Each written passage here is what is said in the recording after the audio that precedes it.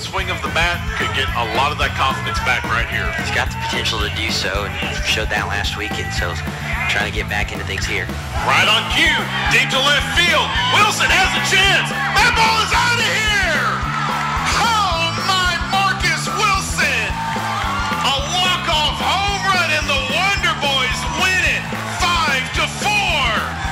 Marcus Wilson backing up my words there. Had the ability to do it after a rough night at the plate. Makes the Wonder Boys winners in fantastic fashion. What a hit from Marcus Wilson. The mob is at home plate. The Wonder Boys win it in walk-off fashion, five to four.